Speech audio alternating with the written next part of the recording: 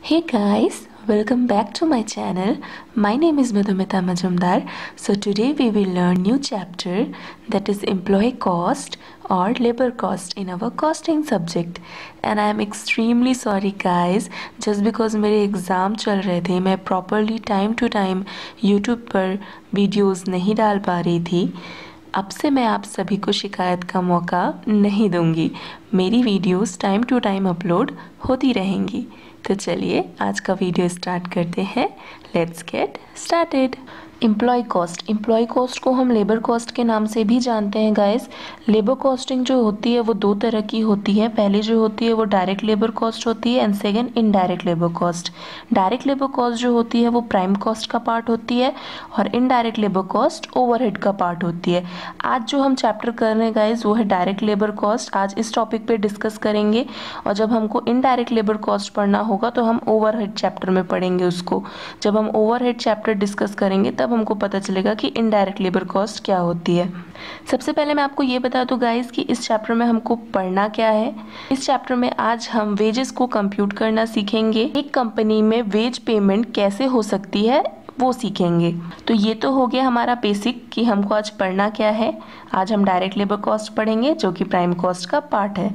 Second चीज़ क्या आती है गाइस सेकेंड हमारा है method of remuneration method of remuneration क्या कहता है गाइस कोई भी कंपनी जब अपने वर्कर्स को पेमेंट करती है नॉर्मल सिचुएशंस में तो वो दो टाइप से करती है। कौन से है वो दो टाइप पहला मेथड है हमारा guys time rate system time rate system क्या कहता है? कि कंपनी जो पैसा देती है, वो टाइम के हिसाब से देती है। आउटपुट किसी वर्कर का कम या ज़्यादा हो सकता है। उसे हम बिल्कुल मेज़र नहीं करेंगे। कितने दिन उसने काम किया पर डे के हिसाब से या टाइम के हिसाब से उसे पेमेंट की जाती है। इसका अगर हम उदाहरण देखें गाइस तो फॉर एग्ज़ाम्पल हम ले सकते हैं कि अगर एक क्लर्क के जॉब को देखें तो उसके अंदर नंबर ऑफ़ एंट्रीज़ वो कितनी पोस्ट करता है, उसके हिसाब से उसको पेमेंट नहीं मिलती। वो सुबह आता है, शाम को जाता है, उसका एक टाइम फिक्स है, उस टाइम के हिसाब से उसको पेमेंट मिलती है।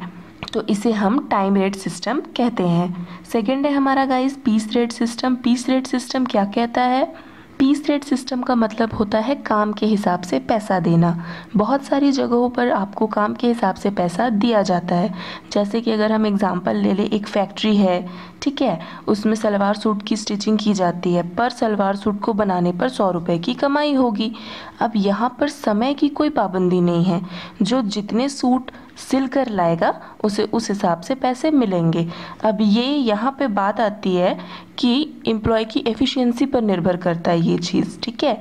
कि वो सूट को स्टिच करने में दो घंटे लेता है या चार घंटे लेता है। वो जितने पीस स्टिच कर देगा एक दिन में, उसके हिसाब से उसकी वेजेस तय हो जाएगी।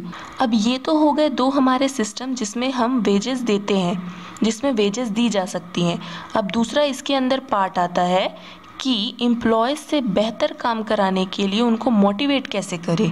वेजेस दे दिया, हमने सब कुछ कर लिया, लेकिन अगर हमको उनसे बेहतर काम करवाना है तो हम क्या कर सकते हैं? कंपनी में क्या किया जाए? क्या पॉलिसी लाया जाए? तो इसके लिए सॉल्यूशन आया कि आप कंपनी में दो तरह के प्लान ला सकते हैं monetary motivational plan and non monetary motivational plan motivational plan होता क्या है? ये प्लान इसीलिए ला, लाया गया ताकि हम कंपनी के एम्प्लॉयज़ को मोटिवेट कर सके बेहतर काम करने के लिए. नॉन मॉनेटरी मोटिवेशनल प्लान क्या होता है? फॉर एग्ज़ाम्पल कि आप एक बेस्ट एम्प्लॉय का अवार्ड रख सकते हैं। ये नॉन मॉनेटरी है। इस अवार्ड को पाने के लिए एम्प्लॉयज़ अच्छा परफॉर्म करेगा हार्ड वर्क करेगा, ताकि वो इस अवार्ड को हासिल कर सके। जैसे कि हमारा स्टूडेंट ऑफ़ द ईयर में था कि बेस्ट स्टूडेंट अवार्ड जो मिलना था। वैसे ही यहाँ पे भी कंपनी में इन्होंने पॉलिसी लाया कि हम एक अवार्ड रखते हैं, ताकि एम्प्लॉय मेहनत करेगा और साल भर बाद उसे ये अवार्ड से नवाजा जाएगा। अब हमारा नेक्स्ट है गाइज़ मॉनिटरी मॉनिटरी का मतलब इन टर्म्स ऑफ़ मनी पैसों से कैसे हम उनको मोटिवेट करें?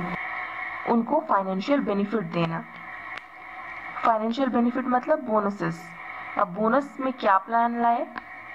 Halsey scheme and Rowan scheme अब जो हम टॉपिक करने वाले हैं, वो इन्हीं बोनसेस से रिलेटेड है कि अगर एम्प्लॉय से बेहतर काम कराना है तो उनको फाइनेंशियल बेनिफिट जो दिए जाते हैं, वो किस तरह से दिए जा सकते हैं, जिससे कि वो ज़्यादा मोटिवेट हो, बेहतर काम करने के लिए।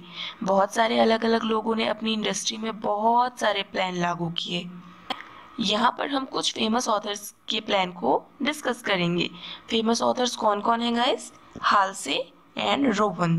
पहला है हालसे वेयर प्लान और दूसरा है रोवन प्लान हालसे प्लान क्या है गाइस ये भी टाइम पे बेस्ड है। Based on time waste time rate system मैंने आपको बताया कि वो क्या है, कि हम यहाँ पे टाइम के हिसाब से पेमेंट करते हैं। तो यहाँ पे जो बोनस मिल रहा है, वो टाइम के हिसाब से मिलेगा। रोवन प्लान क्या कहता है? ये भी कहता है कि बेस्ड ऑन टाइम वेज यहाँ पे भी हमको टाइम के हिसाब से पेमेंट मिलेगा। या आज का वीडियो सिर्फ़ थियोरेटिकल बेस पे था। मैं इस वीडियो को ज़्यादा लेंदी नहीं करना चाहती, इसलिए मैं ये वीडियो यहीं स्टॉप कर रही हूँ। एक वीडियो जल्दी अपलोड करने वाली हूँ, जिसमें सिर्फ़ हम पढ़ने वाले हैं time rate system piece rate system और हमारे Halsey plan and Rowan plan के न्यूमेरिकल क्वेश्चंस तो आज हमने क्या क्या पढ़ा गाइस हमने employ cost and labour cost का बेसिक कॉन्सेप्ट डिस्कस किया, जिसमें हमें पता चला कि डायरेक्ट लेबर जो होता है वो प्राइम कॉस्ट का पार्ट होता है। सेकंड चीज़ हमने पढ़ी कि मेथड ऑफ़ रेम्यूनरेशन कितने तरह के होते हैं, वो दो तरह के होते हैं। बोनस सिस्टम में हमने पढ़ा कि मोटिवेशनल प्लान क्या होता है, कितने टाइप के मोटिवेशनल प्लान होते हैं और लास्ट चीज़ जो हमने पढ़ा गाइस कि financial benefit means what bonuses and bonuses के अंदर हमारे दो स्कीम आते हैं, Halsey plan and Rowan plan and वो जो दोनों ही प्लान है, वो टाइम वेजेस पर बेस्ड है। आई होप गाइज़ आज का वीडियो आपको पसंद आया होगा। आज का वीडियो सिर्फ़ थियोरेटिकल बेस पे था। मैं जल्दी इसका न्यूमेरिकल पार्ट अपलोड करूँगी। आशा करती हूँ कि आपको मेरा ये वीडियो पसंद आया होगा। इस वीडियो को ढेरों सारा लाइक दीजिए और अपने दोस्तों तक शेयर कीजिए। और अगर आप मेरे चैनल पर नए हैं तो मेरे चैनल को सब्सक्राइब करना बिल्कुल ना भूलें। मैं जल्दी आप सबसे फिर मिलूँगी एक नए टॉपिक एक नए चैप्टर और एक नए कॉन्सेप्ट के साथ।